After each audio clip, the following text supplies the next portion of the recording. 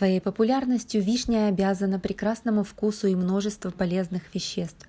Эту ягоду активно используют в кулинарии, а благодаря лечебным характеристикам она приобрела особую ценность. Какие же свойства делают эту ягоду таким незаменимым продуктом? Люди выращивают вишню еще с древних времен. Впервые они узнали народы средиземноморских стран, после чего она получила распространение на Кавказе и в Персии. А в первом веке нашей эры из Рима эта ягода попала в Европу – в России это дерево стали выращивать значительно позже. Вишня обыкновенная – это кустарник или дерево до 7 метров, принадлежащее к семейству разоцветных. Розовые или белые цветки собраны в соцветия. Неудивительно, что плоды вишни с незапамятных времен применяются в лечебных целях, ведь они имеют очень богатый состав.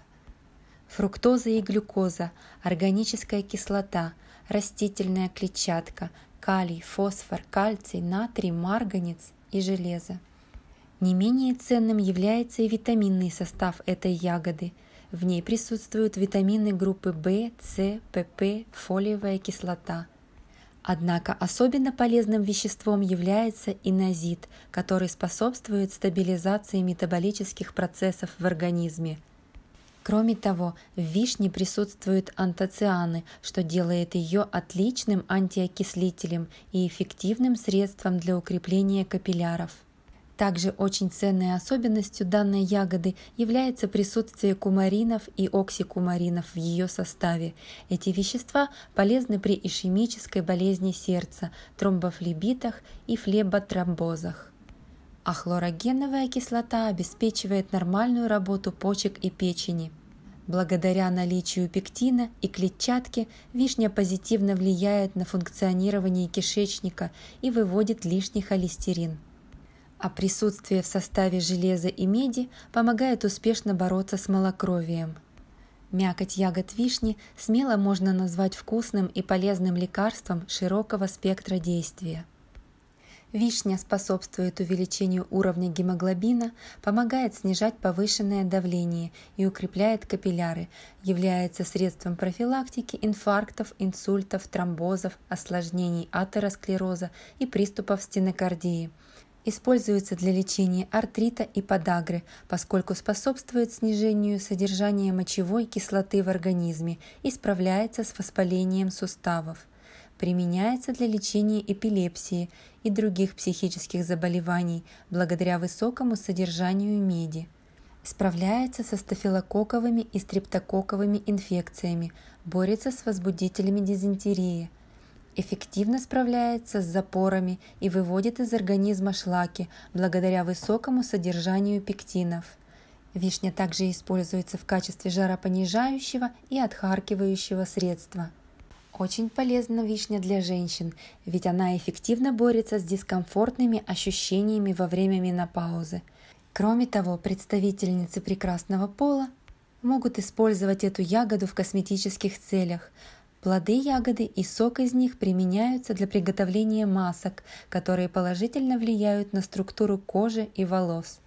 Сок ягод отлично питает, освежает кожу и стягивает ее поры. Также вишня является популярным средством для похудения. Калорийность этой ягоды составляет всего 52 килокалории на 100 грамм. При этом пищевая ценность данного продукта очень высока, ведь он помогает насыщать организм всеми необходимыми веществами. Польза вишни также неоценима для людей, страдающих диабетом. Эта ягода имеет более низкий гликемический индекс – Кроме того, в ней присутствуют антоцианы, которые замедляют скорость поглощения сахарозы, а это крайне важно при сахарном диабете. Помимо этого, вишню стоит включать в свой рацион беременным женщинам, поскольку в ней имеется фолиевая кислота, которая крайне важна для правильного развития эмбриона. Также употребление этой ягоды поможет избавиться от анемии в период вынашивания ребенка – но ценными свойствами отличаются не только вишневые плоды. К примеру, плодоножки ягоды имеют вяжущее и мочегонное действие, способствуют выведению мочевины из организма, что делает их эффективными при подагре, водянке, отеках, а также при мочекаменной болезни и гипертонии. Нельзя обойти вниманием и листья этого растения. Их можно заваривать при гипертонии и кровотечениях. Кроме того, настой из вишневых листьев рекомендуется пить при обильных менструациях и носовых кровотечениях. Вишню можно заморозить на зиму. Замороженная вишня также позволяет сохранить максимальное количество полезных веществ, что позволяет получать витамины на протяжении всего года. Надеемся, что информация была для вас очень полезной. Спасибо за внимание.